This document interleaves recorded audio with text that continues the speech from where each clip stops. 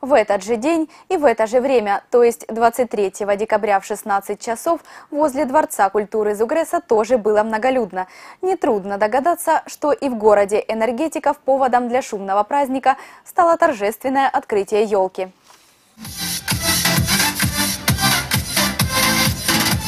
Большую праздничную программу с веселыми танцами, новогодними песнями, сказочными персонажами и сладкими подарками разыграли пятничным вечером перед Зугресским ДК самодеятельные артисты города энергетиков.